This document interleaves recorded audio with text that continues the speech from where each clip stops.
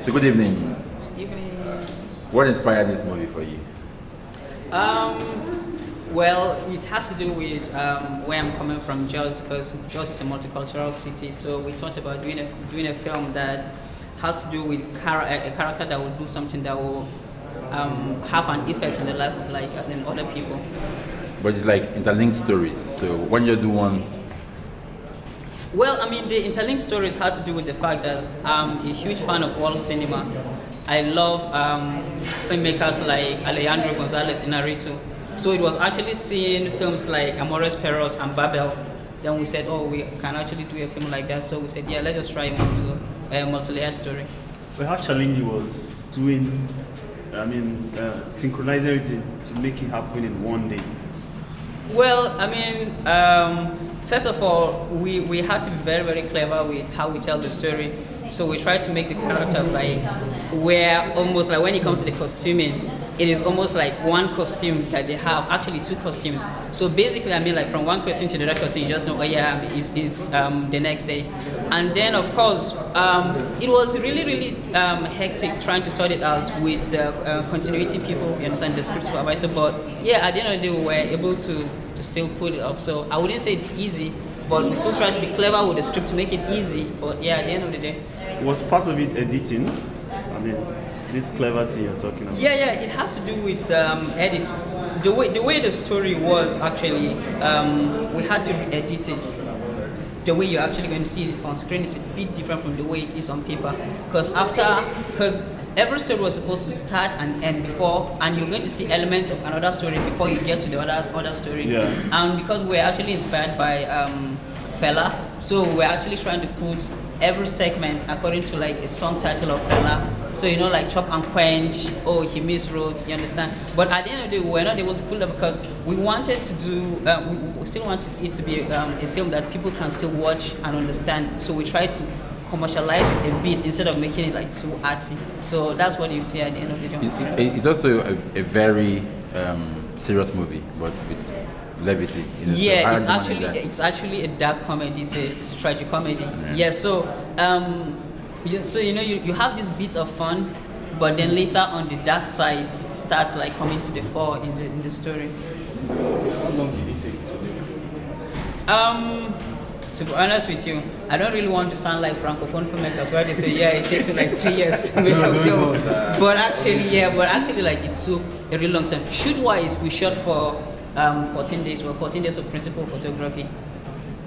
Yeah, because we, we, we, we we didn't have a lot of money, so we wanted it to be on budget.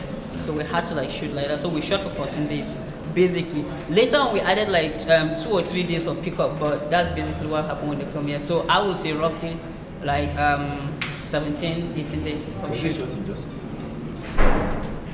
Oh yeah, I mean, um, it was actually shot in Kaduna. We wanted to shoot it in Jos, but then there was this whole um, crisis again that erupted in Jos. So we had to go to Kaduna to go and shoot. But then, of course, we still shot it around the same time that there was still another crisis again in Kaduna. But the actors were still brave and they still came over and we shot and we, we shot like that. What is it about Jos and movies? Well, would, the thing is, this, right? It's not what is it about Jos and movies, or what is it with Jos and arts? You understand? When it comes to like maybe print, music, film, I mean, you always have just people there. I don't really know. It probably has to do with the fact that we have um, probably the weather, because you know you're not staying in a place where your brain is going to get cooked all the time. Like you know, you're in Lagos. I was like complaining, you understand about. I mean, the heat. Sometimes, I mean, we, if you're in, in Jos, it has this serenity to it, and of course, like it can actually bring out the arts in you. So possibly that's why we have great people coming out of the That means you're still in Jos. Yeah, I mean, um, I don't run away from Jos. I know like there are some people here understand who have actually run away from Jos. You understand? But I still go back to Jos, and I always tell people that once you are from Jos, you always have to make sure that you have land in Jos, so that when you're actually getting old, you can go back to a place where you get the fresh air and then like maintain serenity in a serene environment. This movie has been to festivals, right? Uh, How has the reception been?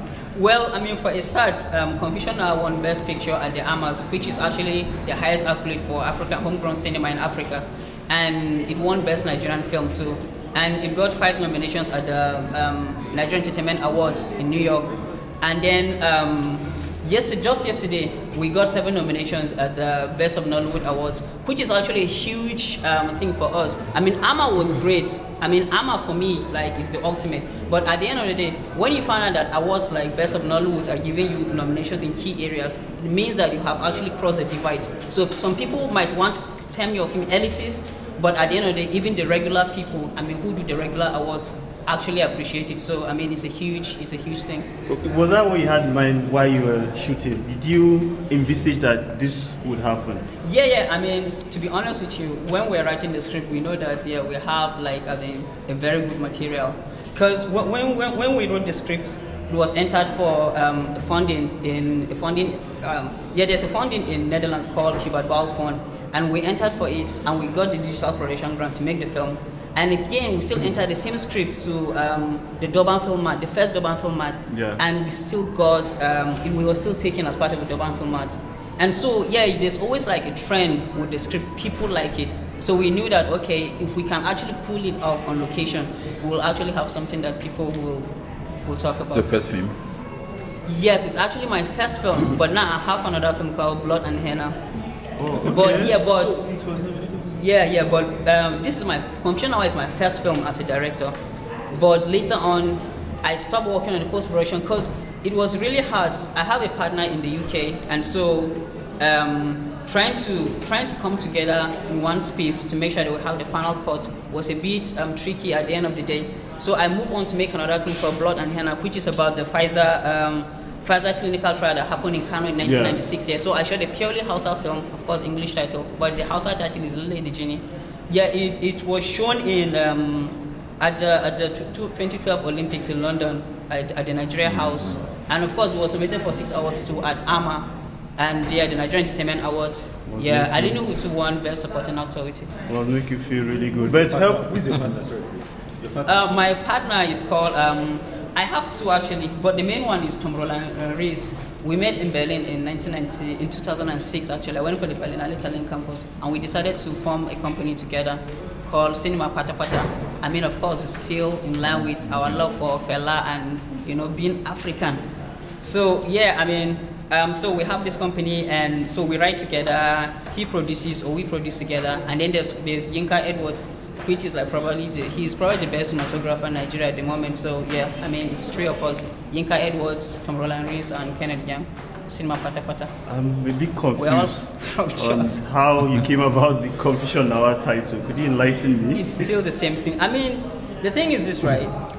Some people might just feel that we don't really know better, so oh, we're supposed to like give it a fancy English title, but we just felt that nah. I mean, I've seen francophone cinema. When when you, go abroad, people always talk about films from Africa, and they talk about oh, there's Sam Bennett, there's um, Gaston Kaboré, there's Idrissa Ouédraogo, and you know like they always try to like their films are always African. So what we just try to do is that yeah, I mean we can actually do something African too. We're not going to have like all these um, porous titles that we have around. I mean, with disrespect to my other colleagues, you understand?